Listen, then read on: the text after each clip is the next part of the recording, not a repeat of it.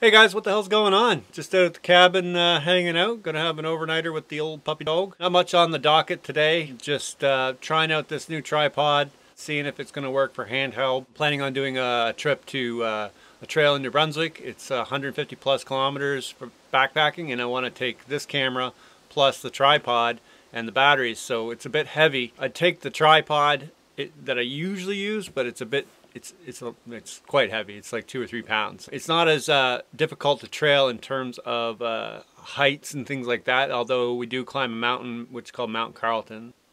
It's the highest peak in the Maritimes, or the highest peak in New Brunswick, or the highest peak of something, but it's not very high. Anyways, I'm out here with the dog, chilling out, and I'm just going to shoot some random footage and just odds and ends, and maybe some walking shots, and just see what kind of angles and stuff we'll have to work with.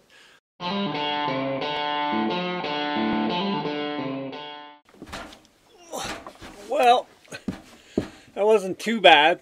Uh, so what I did is, think, so the camera here has a tripod mount to it. And that mount is a ball, which is great, but it's three or four ounces, so it's pretty heavy in terms of holding it.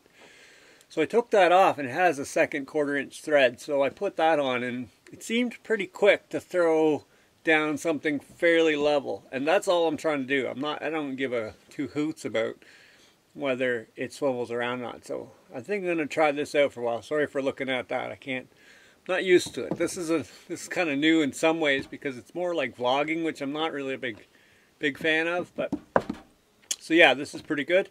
We're going to uh, go from there. Okay, so we got two things down, two things kind of fixed. One is that we got it set up so the battery is going to take over and shut down the camera, uh, which is fantastic. The other thing is, is that we did take off that second mount. Seems good right from the get-go. And this auto that I've picked, which is, I don't even know what it is. God damn it. It's, it's pretty good. It's doing a pretty good job. The autofocus is doing a pretty good job. And then the great thing is I can do uh, audio, well, like a compensation to it takes a little extra work, but I can do it. So that works out really well. I think I'm going to like this setup a little better. Yeah, totally.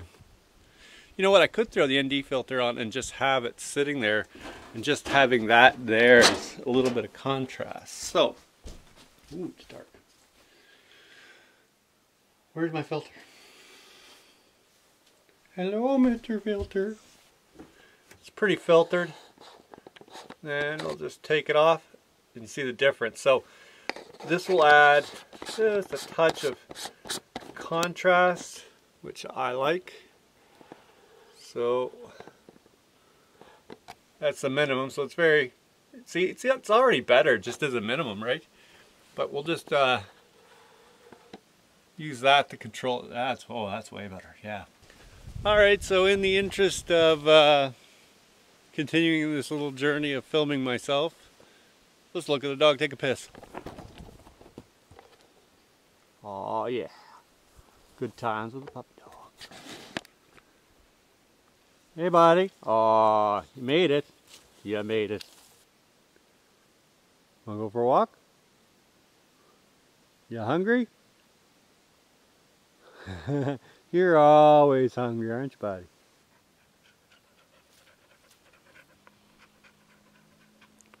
Those hungry puppy dogs. You are? Huh? Huh.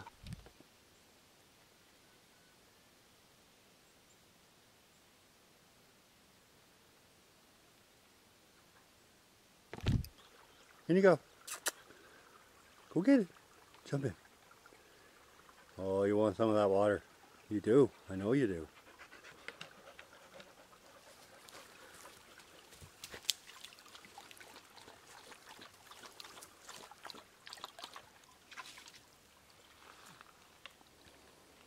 You think? Get enough water? You think? What's up, buddy? Huh? How's cutie? Huh? You hungry?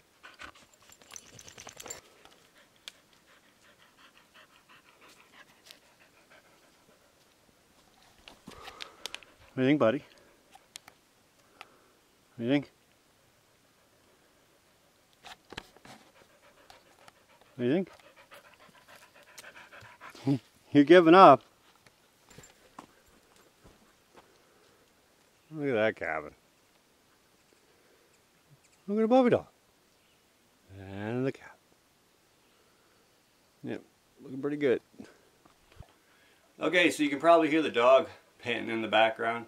I guess we're going to take off a little early today. Um, I had some things I want to get done. I, am I mean, I meant to go out back and work on some stuff but it's just too darn hot.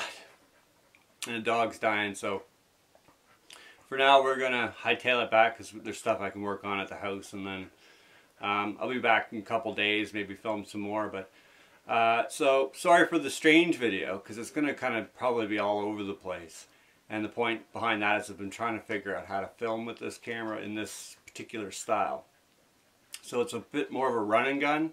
So I think the quality is still there. You just got to see it between the lines, so to speak, because there'll be more unique cuts, I guess, in that sense. So, yeah, so thanks for joining me. Uh, more videos to come. Looking forward to my hike. Hopefully I can get a great video out to you later on and the rest of the world and really represent that trail and represent uh, my ability to filmmake and, and hopefully tell a little bit of a story too. So, yeah, anyways, we'll be talking to you soon. Take care. Thanks for thanks for hanging out for a little bit.